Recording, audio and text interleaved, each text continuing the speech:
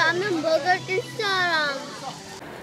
네, 오늘 먹어볼 거는 GS25에서 나온 egg 샌 egg 샐러드 샌드위치인데요. 독특하게 생겼죠? 이렇게 좀 고급스러운 느낌의 이렇게 담아가지고 도시락처럼 돼서 2,500원입니다. 223g에 541kcal이고요. 즉석 섭취식품이고 뭐라고 그때 써 있는데 잘 모르겠네요. 에, egg 샐러드 샌드위치 2,500원이고요. 식빵, 마요네즈, 스모그 햄, 양상추, 뭐 양파, 당근, 설탕 뭐다 들었고요. 음, 칼로리 뭐 당류가 한 5g, 지방 지방이 좀 많고요.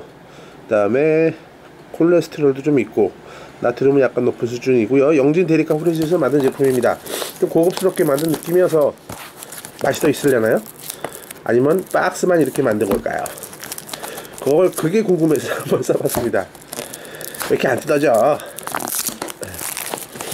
가위로 자르시는 게 좋겠네요. 손으로 하시기엔 좀 불편하네요. 예. 오늘 딱 아침부터 이걸 먹네요. 예, 이렇게 들어있는데 3단짜리가 3개가 들어있고요. 중간중간에 이렇게 예, 중간중간에 가운데 아 종이로 아 종이로 쌓였구나 이렇게 이런 식으로요. 예, 이런 식으로 이렇게 이쁘게 쌓여있어서 아주 먹음직스러운데 오 빵이 노리끼리하게 돼 있네요. 돼 있고 이쪽에 smoke 햄하고 야채는 얼마 안 들어 있고요. 두 번째 거 에, 샐러드에다가 오이에다가 에, 이렇게 들어 있는데 셋 다 비슷한 것 같죠? 조금씩 다르긴 한데 거의 뭐 비슷한 것 같고요. 맛이 어떨까요? 음. 노란색 빵은 도대체 정체가 뭘까요? 맛은 똑같고요. 좀 이제 좀 비주얼적으로 이쁘게 만든 것 같고요.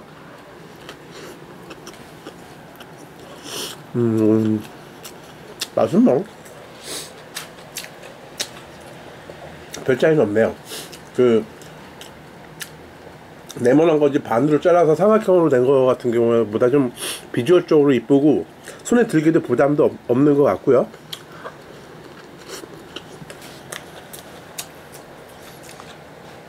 뭐, 더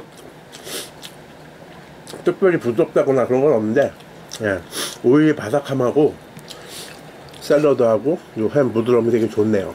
음. 이것도 앞으로 종종 먹어보지 않을까 싶은데 2천째 제품보다는 좀 나긴 난 것 같습니다. 그렇다고 뭐 맛이 뭐 확달하기보다는 먹기 편하고 짭짤해서 부담 없고 그러면서 괜찮은 것 같네요.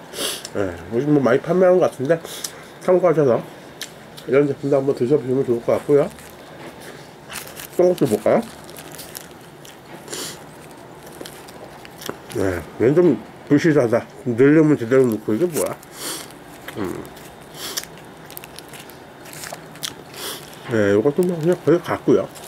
그래 다 같은 느낌인데 참고하셔서 예, 그냥 요건 참 도시락으로 싸갖고다가 하나 먹고 하나 나중에 드시기도 좋을 것 같네요. 참고하셔서 맛있게 드셔보시기 바라겠습니다.